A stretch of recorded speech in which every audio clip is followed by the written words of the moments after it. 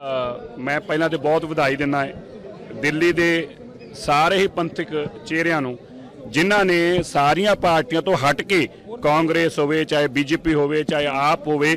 ਲੇਕਿਨ ਜਦੋਂ ਪੰਥ ਦੀ ਗੱਲ ਆਈ ਆ ਤੇ ਸ਼੍ਰੋਮਣੀ ਅਕਾਲੀ ਦਲ ਦੇ ਨੁਮਾਇੰਦਿਆਂ ਨੂੰ ਵੱਡੀ ਜਿੱਤ ਹਾਸਲ ਕਰਾਈ। ਮੈਂ ਇਹ ਵੀ ਦੱਸਣਾ ਜ਼ਰੂਰੀ ਸਮਝਦਾ ਕਿ 12 ਸਾਲ ਹੋ ਗਏ ਸਾਨੂੰ ਖਾਲਸਾ ਕਾਲਜ ਦੇ ਅੰਦਰ, ਕੋਈ ਸਿੱਖ ਅਸੀਂ ਆਪਣਾ ਪ੍ਰੈਜ਼ੀਡੈਂਟ ਨਹੀਂ ਬਣਾ ਸਕੇ ਸਾਂ। ਪਰ ਹੁਣ